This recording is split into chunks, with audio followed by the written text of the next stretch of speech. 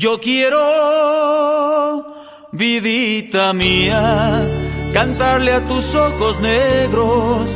Y en la vida de este artista hay tres personas que son parte fundamental de su trayectoria y son su esposa y sus dos hijos.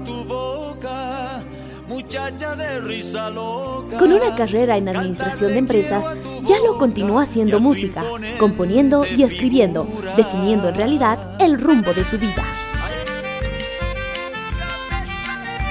Y ya lo, ¿cómo es que tú empiezas a lanzarte ya al éxito y a ser reconocido a nivel nacional? ¿Cómo nace eso? ¿Cómo surge? Yo estando en La Paz necesitaba trabajar y, no hay nada mejor que trabajar con lo que te gusta, ¿no? Entonces eh, empecé a, cantar, fui a las peñas, antes había peñas en La Paz en las que uno podía eh, ir a mostrarse, pero también había una época importante que era la trova.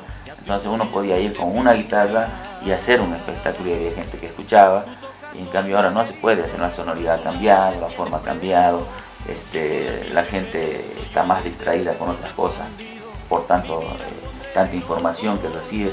En esa época yo empecé ya a componer, eh, durante 10 años empiezo solamente a escribir y a, actuar, ¿no? Entonces las posibilidades se me iban dando poco a poco. Escribo Quiero ir al Chaco, que tiene que ver con con las vías de comunicación y los accesos en esa época en el Chaco, bueno, que hasta ahora siguen, siguen este, en problemas porque la canción la han vuelto a usar en estas últimas elecciones allá en el Chaco.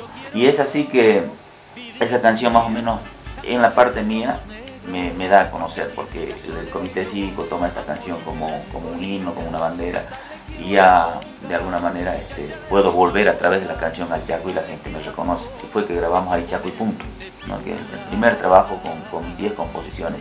Y yo quería grabar eso como para que no se perdiera, porque eran composiciones este, netamente folclóricas. Y yo no era un folclorista declarado. Así que yo puse el bombo, la guitarra, el canto y todos los arreglos los hizo, los hizo Luis en todo ese disco. Al momento de componer, ¿cómo es que surgen las ideas, las historias? ¿Son vivencias? ¿Son sueños? ¿Y, cómo lo hace? ¿Se encierra en un cuarto? ¿Lo escribe tal vez en, la movilidad? No lo sé. ¿Cómo es que se inspira ya lo cuella al momento de escribir canciones? Eh, mucha gente habla de las musas, de las, ¿no? el, momento de inspiración. En realidad, eh, eso es, puede, puede llamarse que es una cosa que no existe, digamos, es un mito, eh, porque es igual que una pintura. Cuando alguien va a pintar, si es un retratista, digamos, va al campo y empieza a enmarcarse en algo y pinta. Y lo de la poesía y, lo de las canciones en, realidad es parecido porque uno se levanta con una idea y, enmarca dentro de un, papel y empiezas a, a querer componer, a querer escribir en base a algo. Y ahora ese algo es lo que a veces eh, tienes que buscarlo si eres un contador de cosas como yo, en ciertas vivencias, en ciertas experiencias, en ciertos comentarios, este, si es parte tal vez de tu vida y que esa parte es parecida a la de mucha gente, por eso que a veces hay canciones que, la gente este, las recibe, ¿no? Y se identifica. se identifica porque es, es algo bien, eh, bien común, ¿no? En, todas las personas. Sí, me gusta estar solo, me gusta estar este, tranquilo.